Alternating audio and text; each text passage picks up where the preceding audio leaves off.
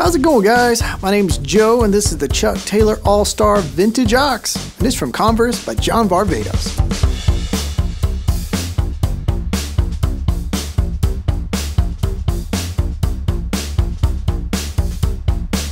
John Varvatos has added some modern styling to a classic. They've used a soft suede here on the upper, and you've got these cutout perforations all the way around, keeping it breathable and it creates just a cool overall look. No need for laces with this bad boy. It is a slip on. It's got some stretch going there to keep your foot in place. On the interior, we've got an excellent amount of cushioning. Just look how thick that is back there in the heel. Got some great arch support going on there as well. Now the shoe is really flexible right out of the box and we've got a transparent rubber on the outsole so you can see the All-Star logo.